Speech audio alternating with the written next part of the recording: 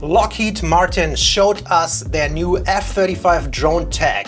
What's up guys, I'm Potato Phil, I'm from Germany and I react and watch all kinds of stuff from the USA and today we're watching this military video. I'm very interested in high technology, some of the military technology and it's kind of fascinating to learn about these things.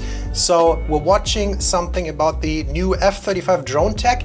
I guess it's a fighter jet, a high-end one and drone tech implies, I guess, that they might operate without a pilot. I am not sure, but let's just see what Lockheed Martin cooked in their chambers down there, if you know what I mean. Here we go. The F-35 is currently considered one of the most advanced weapons in the world. And in the coming years, its missions are set to become even more high-tech with pilots flying alongside teams of drones, or what the U.S. military calls Collaborative Combat Aircraft, or CCAs. All to right. control those drones, the F 35's maker, Lockheed Martin, is unveiling new technology for the cockpit. And Lockheed just announced a new drone that it says will be a CCA. But after missing out on key contracts, can Lockheed and its F 35 stay in the game? We visited the company's Fort Worth facility to get a closer look at the jets and the secretive technology that could carry them into the future. Okay. The F-35's future drone teaming flights. So I guess the F-35 stays the fighter jet that it is, the most advanced, but then teams of drones around it. I'm curious if they're gonna fly them like this girl in the preview in this like simulation seat. Before we dive into futuristic drone flights, let's talk about the F 35. Yes, please. The F-35 is the most capable, the most lethal, the most connected, and the most survivable fighter aircraft flying on the face of the planet today.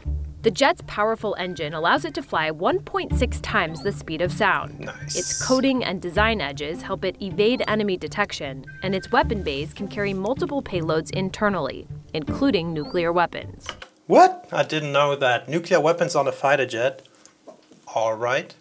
The importance of putting them inside the plane is The- for stealth. Yeah, the importance of keeping them in, uh, having the weapons bay is stealth, right? So if- if you think the opening days of a conflict, then we're probably going to go in with just internal weapons.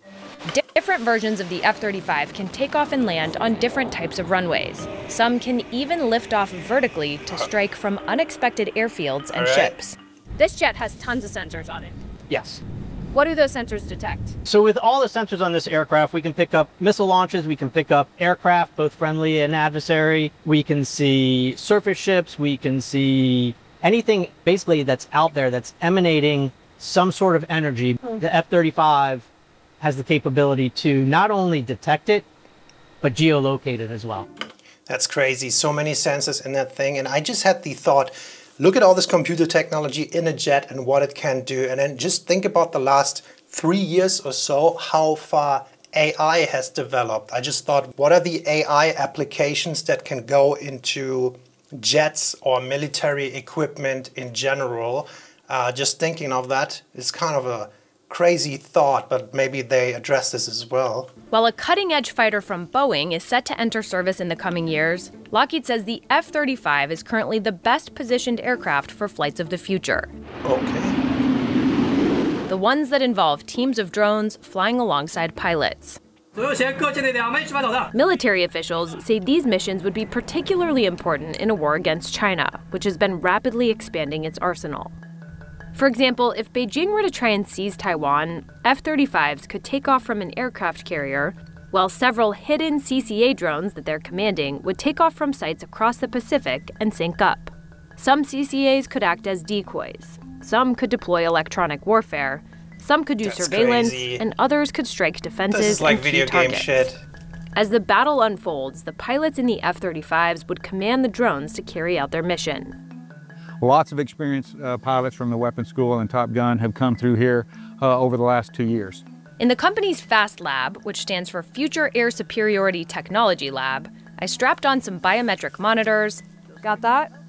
stepped into a simulator, and got to experience a small slice of what that kind of mission would look like. So the scenario that we've got you in right now, Shelby, is you as a single F-35 are quarterbacking four CCAs. Using software that Lockheed calls Angry Bees, I was able to tell four of my drones to attack eight incoming enemy aircraft. So the, fi- the the pilot in the F-35 controls the drones I guess, maybe? On my tablet, it looked more like this. The drones have a high level of autonomy, and commanding them was almost like a video Yeah. game that took just minutes Dude. to figure out. Well, Miller time? Miller time. Mission accomplished. But of course, we couldn't vet the tech with real drones, and what I experienced was a far cry from what it's like to fly in a real battle. Guys, quick interruption here. If you are fascinated by the United States and all these American topics like I am, then maybe consider subscribing to my channel. I am a small channel. I'm trying to grow and I'm trying to learn about the United States and I find it very interesting. And if you do too, then uh, please click that button. But now back to the video. You're a pilot. I love these How shots. hard is it to fly an actual airplane and command drones at the same time? These pilots that we're talking about are masters of their machines. Former Air Force pilot OJ Sanchez is now vice president of aeronautics for Skunkworks, which created the Angry Bees interface. Skunkworks is a storied but secretive unit within Lockheed that developed some of America's most advanced and classified weapons since World War II. We've seen, especially in Ukraine, that drones can be controlled from the ground. Why is it better to control them from the sky? So they The are. pilot that sees the airspace that is Yeah. moving at the speed of the air war is in the best position to adapt and react at the speed of the fight. So in many cases, CCAs will be best controlled by the pilots at the leading edge of the air battle so that they can adapt, they can move, shoot, and respond to the situation in real time. It's also a real-time strategy game. It's like literally a video game. You're flying the main thing and you're just like, drone one and two, attack this ship. Drone three and four, electromagnetic pulse towards that or what? Dude, this sounds crazy. You have like your spawns, your little units.